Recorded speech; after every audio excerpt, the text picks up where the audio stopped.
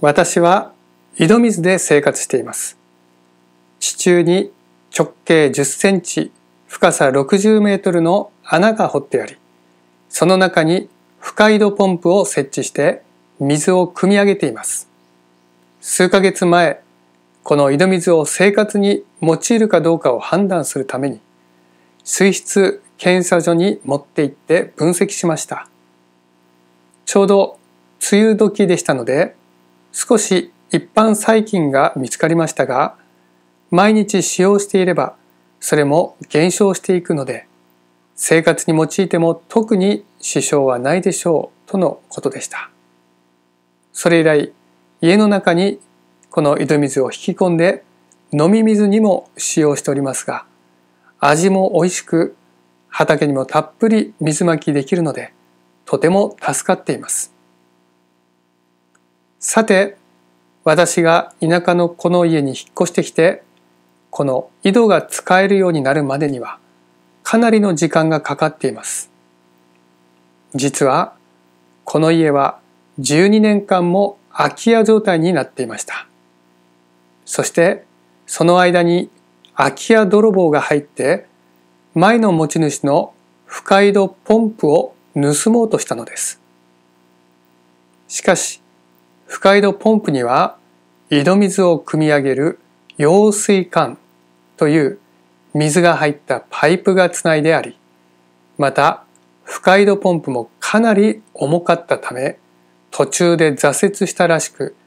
その腹いせに揚水管パイプを切って、深井戸ポンプごと深さ60メートルの井戸の底に落としていったのでした。ですから、この井戸をまた使えるようにするためには、この深さ60メートルの井戸底に捨てられたポンプをまず引き上げなければなりませんでした。これがとても大変な作業で、正直、深井戸ポンプが盗難にあって持って行ってもらった方がまだ全然マシでした。結局、いろいろと試行錯誤しながら、この井戸底に落とされた深井戸ポンプを取り出すのに半年かかり、やっとのことでこれを回収できました。実は最初からこの井戸の中に深井戸ポンプが捨ててあるという状況が把握できていたわけではありませんでした。もちろん半年の間、神様に助けを祈り求めていたのですが、ある時、こちらに引っ越してきてから間もなく知り合いになった方から防犯カメラを貸していただくことになりました。そしてそれを井戸の中に突っ込んでテレビモニターで確認したところ中にポンプが捨てられている状態であることがやっと分かったのです。そこから神様は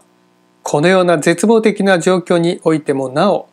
様々な知恵とアイデアをお与えくださり結果的にこの捨てられていた深井戸ポンプも揚水管もすべて回収した上で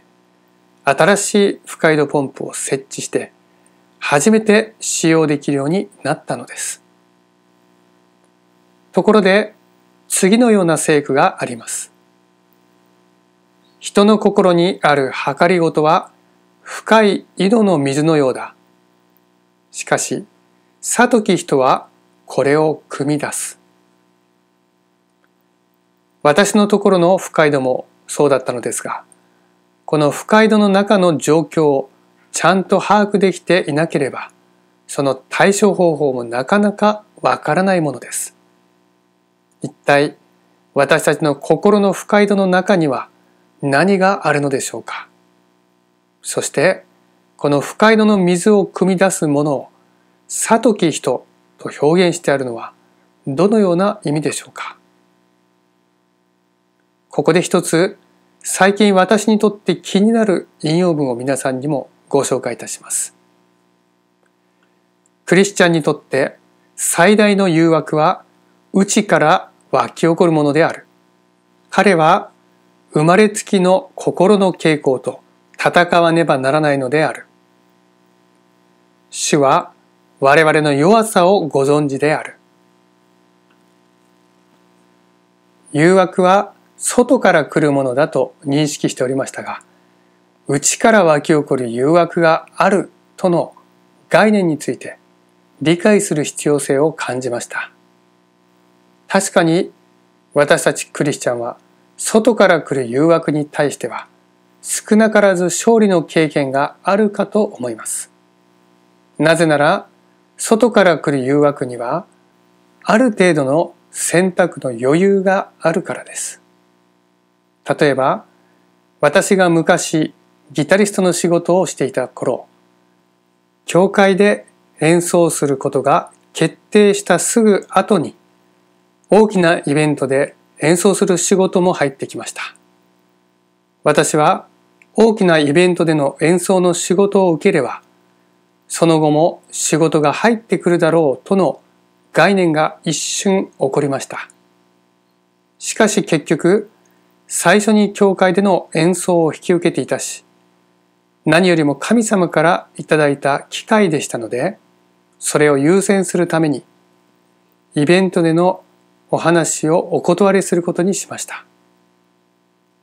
そうしたら、その話を持ってきてくださった方が、もう二度と演奏の仕事はないと思え、と怒ってしまいました。これは、外からの誘惑に対して、何とか勝利できたという話ですが、内から湧き起こる誘惑があるならば、簡単にはその誘惑に勝てないかと思います。一体それはどのようなものなのでしょうか？ここで次の引用文から考えてみましょう。誰も罪を犯すように強制されることはない。彼自身の同意がまず必要であって、欲望が理性を支配し、不義が良心を征服する前に、その魂が罪の行為を意図しなければならない。どんなに強くとも誘惑は罪の言い訳にはならない。内から湧き起こる誘惑とは、もともと自分の中にある罪に対する欲求に過ぎず、罪を犯すことは欲求に同意するということなのです。つまり自分の意志による選択が含まれて初めて罪を犯すということになるのです。さらに次の引用文には心の中でいろいろと妄想もしくは想像して心の中で密かに罪をもて遊んでいるだけでもそれは神様の見舞いに実際に行動に移したと同じように罪を犯したとみなされるその概念について記されてあります。あなたが虚しい想像にふけり、あなたの頭脳に不純な事柄を考え巡らすのを許すなら、ある程度神の前にあなたはその想像を実際に行動に移したのと同じく罪がある。行動を阻んでいるのは、その機会がないというだけのことである。このように私たちが誘惑に同意する方向性に働きかける何かが私たちの心の奥底に潜んでおり、私たちはその内から湧き起こる誘惑に勝利しなければ罪を繰り返すことになるというのがわかります。ここで質問なのですが、私たちは外側からの誘惑にはある程度の勝利は望めますが、この内から湧き起こる誘惑には勝てるでしょうか？例えば、自分が憧れていた車に乗っている人を見かけたとしましょう。それも自分よりもずっと若い人です。その時、心の中で何か違和感が生じて、ああ、この若い人はどうせお金持ちのところのお坊ちゃんだから変えたんだよ。と自分に言い聞かせるようにして、湧き起こった嫉妬心をごまかすとしましょう。それは表であって嫉妬の態度を表したわけではありませんが、心の中では嫉妬で満たされていたのです。これは明らかに内から湧き起こる誘惑に屈している状態になります。私たちは品性の完成を目指して日々歩んでいますが、なかなかこの内から湧き起こる誘惑を完全に消し去ることができません。しかし今回、この状態についてさらに理解が与えられました。私は今までこの内から湧き起こる誘惑があるという事実自体、すでに罪を犯したものであると認識して悔い改めていました。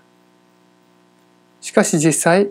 この問題は今日に至るまで一向に解決していません。まだ内から湧き起こる誘惑があるのです。つまり、悔い改めても悔い改めても、この内から湧き起こる誘惑が消えないのです。果たして皆さんはいかがでしょうか？私と同じように内から湧き起こる誘惑はまだあるでしょうか？そしてそれを悔い改めたでしょうか？さらに悔い改めても悔い改めてもまだ内から湧き起こる誘惑は消えないでしょうか？これは単に悔い改めが足りないのでしょうか？実はそもそもこの内から湧き起こる誘惑の問題はいくら悔い改めてもその方法だけでは解決しないのです。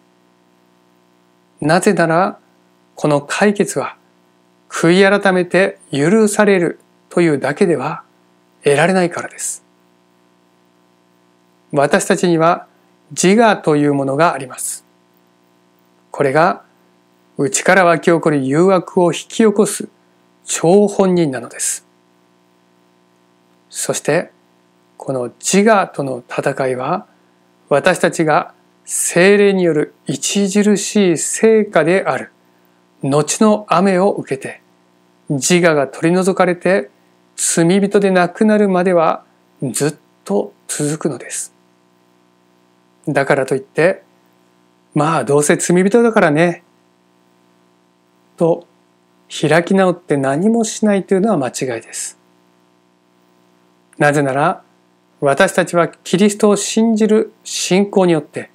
この自我との戦いに勝利することができると約束されているからです。つまり内から湧き起こる誘惑はなくならなくてもこの先天的な性格を克服できるのです。キリストは完全な品性に到達することが容易であるという保証をお与えになっていません。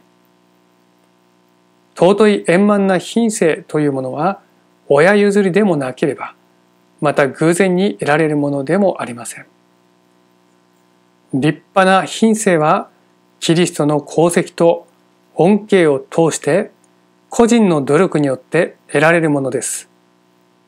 神が才能、すなわち頭脳の能力をお与えになり、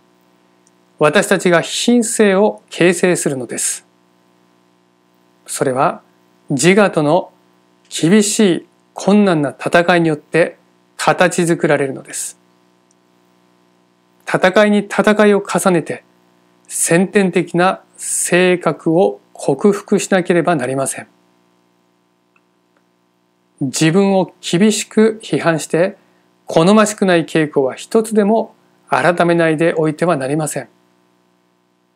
誰でも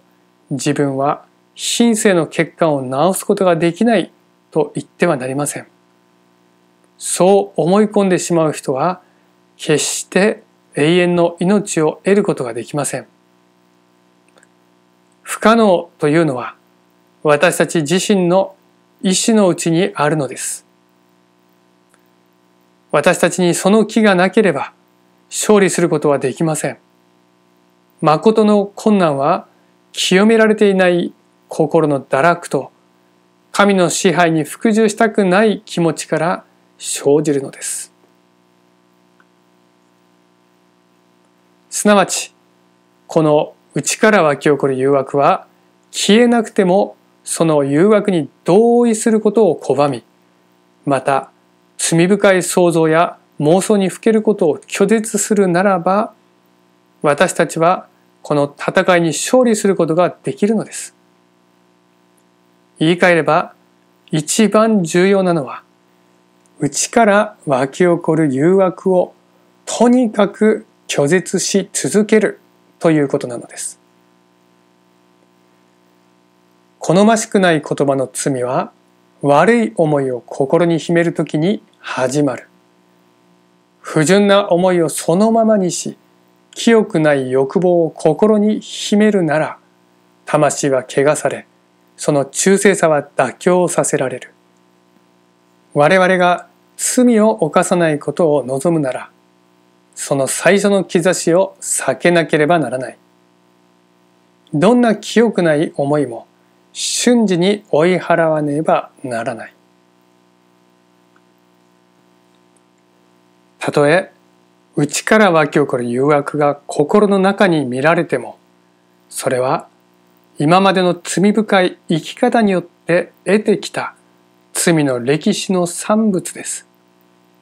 残念ながらそれは知ってしまった罪の知識であり、罪の刈り取りそのものなのですが、それらは悔い改めるという方法だけでは解決しません。しかし、そのような自分の状態を悲しむことはとても大切なことです。なぜなら自分の無力さを知ることになるからです。そして無力な自分の現状のすべての解決を神様に持っていくためにはこの罪の自覚を常に持ち続ける必要があるからです。そしてこれが神様とより親密な関係を保つためには絶対に必要なことなのです。神に近づきなさい。そうすれば神はあなた方に近づいてくださるであろう。罪人どもよ、手を清めよ。双心の者どもよ、心を清くせよ。苦しめ、悲しめ、泣け、あなた方の笑いを悲しみに、喜びを憂いに変えよ。実は、この問題が私たちの心の深い井戸に沈められていた問題なのです。そして、この問題解決のためには、私が井戸の中をカメラで見ることによって、問題を正しく認識しなければその解決のために何も始まらなかったのと同様に私たちのクリスチャンライフが未だに清い状態に到達できないのはこの問題解決のために正しく認識しておらずそれゆえまだ着手できていなかったからです。それではどうすれば内から湧き起こる誘惑に対して勝利することができるでしょうか？その方法について考えてみましょう。実は内から湧き起こる誘惑に唯一抵抗できるのは私たちの中に働く理性なのです。この理性は自我の天敵になります。なぜなら理性は神の霊である精霊の内住によって確立されるものであり罪を犯す前のアダムはこの理性を神の形として確立された状態で創造されたからです。人間は神に似せて作られたのである。神の性質は神の身旨と調和していた。人間の知力は神の事物を理解することができた。彼の愛情は清く、食欲や情欲は理性の支配のもとにあったこの理性は一般的には人間に生まれつき備わっているものだと理解されていますしかしそれは全ての人に神の霊である精霊が働きかけているからです。新バビロニア帝国のネブカネデザル王は神の摂理のうちに理性が取り除かれて7年間も野の獣のような状態になりました。つまり人間が本能だけで生きたらどうなるかという前例になったのです。しかし神様は摂理のうちにまた精霊によってネブカネデザル王の心に理性を再創造されました。彼は生まれ変わったような状態になり神様に仕える良い王になったのです。この時私の理性は自分に帰りまた我が国の公営のために我が尊厳と好奇とが私に帰った。我が大臣我が貴族らも来て私に求め私は国の上に固く立って前にも勝って大いなるものとなった。この神に属する理性は今からでも私たちの心の内に確立されるのです。この経験を品性の清めと言います。そしてこの経験の中で私たちの意志は強化され神様のご意志に沿うものとして歩むことができるようになりさらに内から湧き起こる誘惑に対しても断固とした抵抗ができるようになるのです。内から湧き起こる誘惑についてもう一度繰り返しますがこのような誘惑が心の中に湧き起こるのは私たちが罪人であるという事実に基づきます。自我なる存在が機会があるごとに自我の要求を投げかけてくるからです。それは自我の働きゆえ自我が存在している限りは悔い改めただけでは解決しません。しかしその罪人という事実を認めて自分が罪人であることを嘆き悲しむことは神様の見舞いに胸を打って自分の罪を嘆くあの酒税人と同じ。誠の罪の悔い改めの経験を日ごとにすることになります。それゆえにこのような生き方は神様の必要性を常に感じることができます。そして神様はこの罪の状態を嘆き悲しむ者のことを喜ばれます。快活で喜びに満ちているのは結構なことである。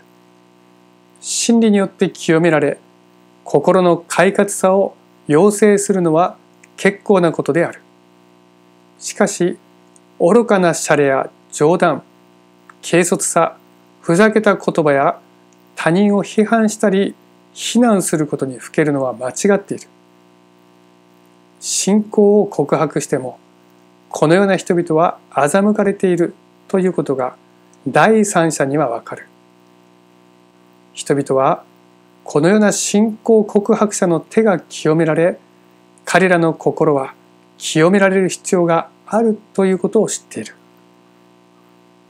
彼らは誠の罪の悔い改めを経験する必要がある。彼らは何を悲しまなければならないか。彼らは自らの罪への傾向を悲しむべきであり内面の堕落と外側の誘惑から来る危険性を悲しむべきである彼らは罪の恐ろしさについて非常に弱い認識しか持っておらず罪を構成しているものについてはほとんど知らないということを恐れるべきである。しかし私たちが自分の無力さを知り神様に罪の完全な解決を求めて品性の清めを祈り求める時大祭司イエス・キリストは助け主精霊を私たちの心に内住させてくださるのです。さらに神様に属する理性が再創造によって与えられる時私たちは自我の要求に屈せず罪に勝利することができるようになるのです。実はイエス・キリストも精霊を内住させるというこの方法で父なる神のご意志を完全に行うことにより生涯罪を一度も犯されなかったのです自分自身の力では我々の堕落した性質のやかましい要求を拒むことができないこの道からサタンは試みを持ってやってくるキリストは彼が遺伝的な弱点に乗じることをご存知であった。イエスの中にはサタンの詭弁に応ずるものは何もなかった。イエスは罪に同意されなかった。一つの思いにおいてさえ彼は試みに負けたまわなかった。我々もそうなれるのである。キリストの人生は神聖と結合していた。イエスは精霊の内住によって戦いに備えられた。私たち罪人の心の中に内から湧き起こる誘惑があるという事実は本当に悲しむべき事実です。そのことこそ私たちが罪人として存在している原因だからです。しかしこの自我が取り去られる時が必ず来ます。その時こそ神の契約の成就になり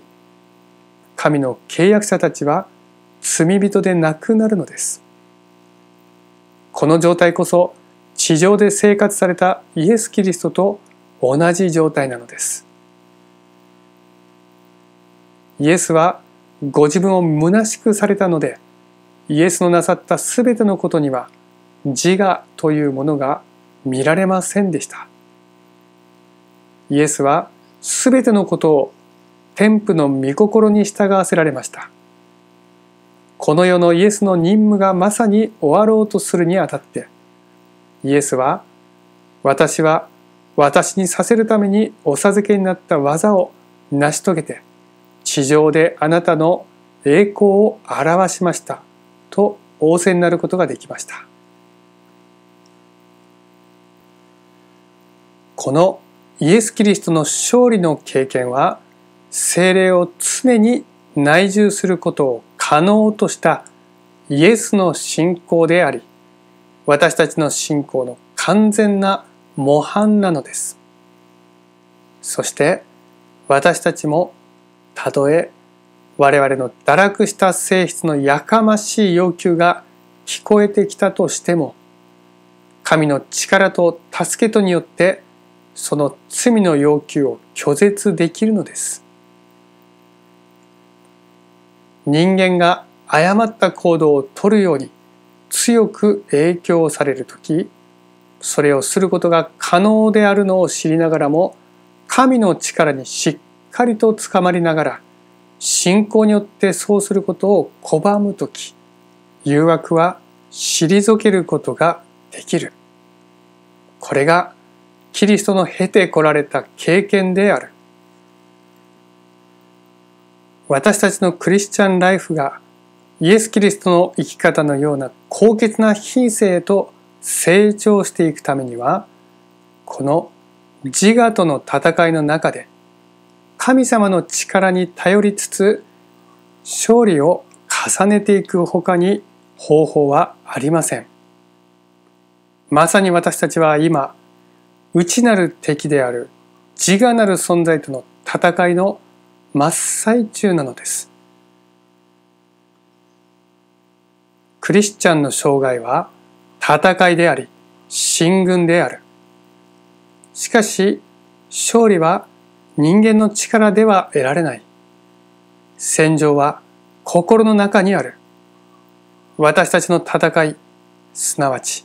人間の戦わなければならない最も激しい戦いは自己を神の意志に従わせること。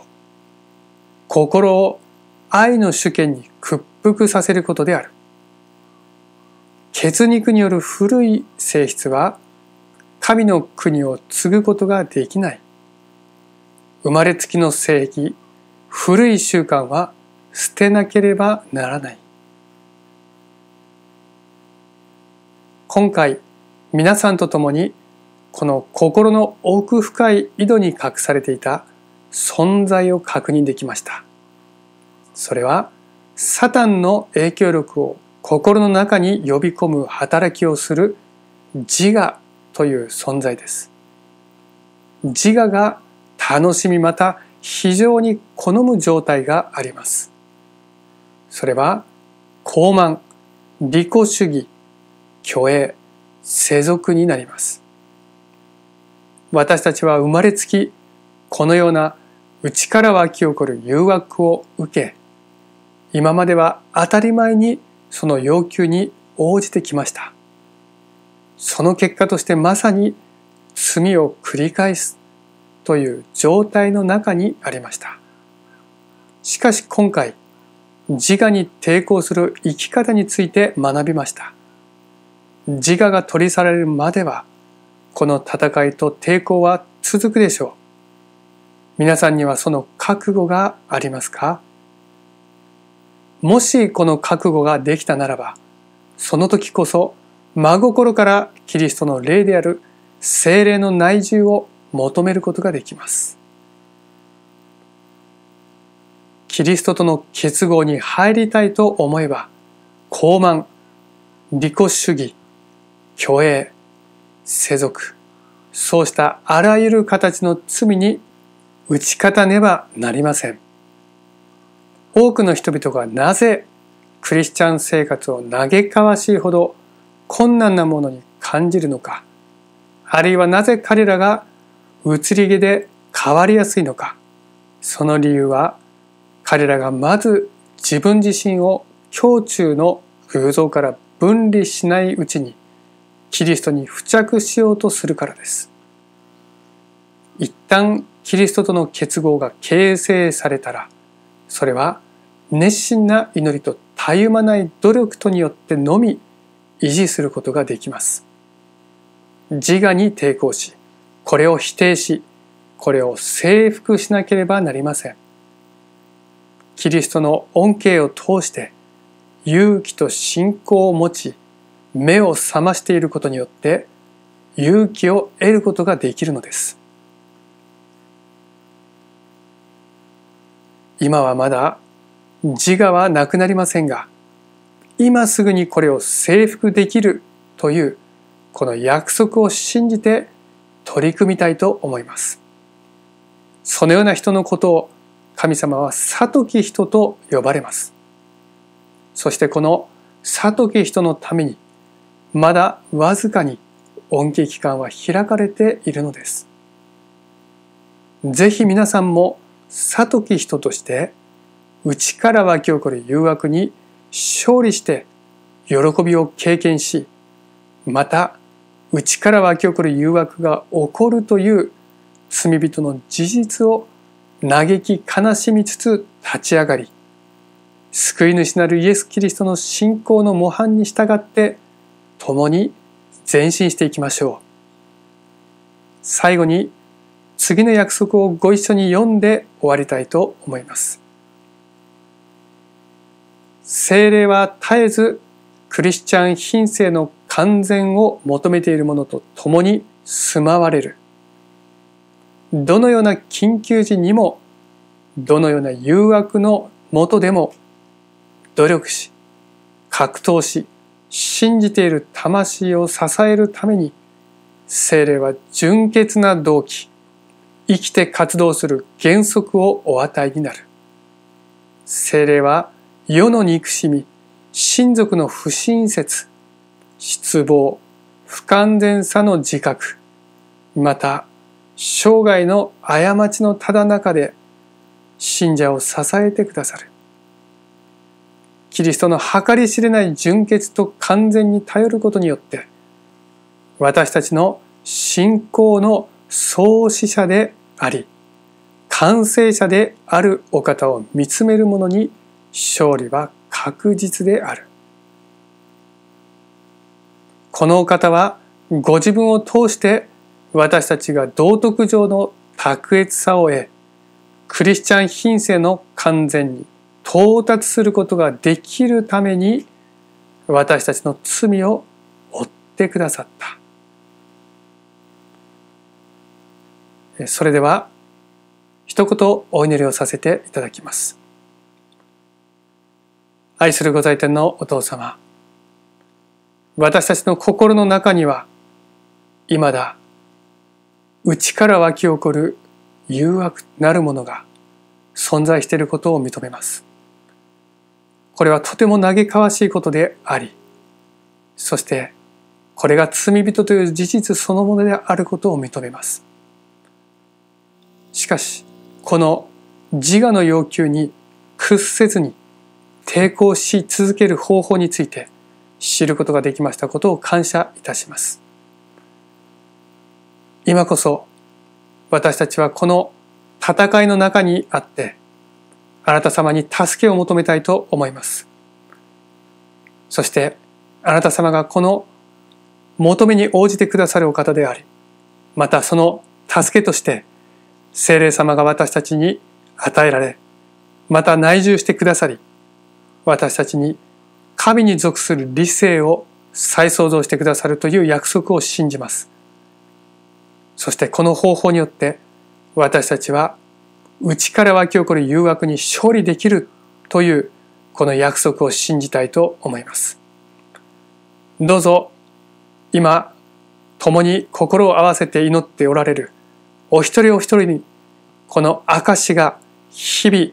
与えられますようにお願いいたします。この祈りを感謝して救い主イエス・キリストのお名前を通して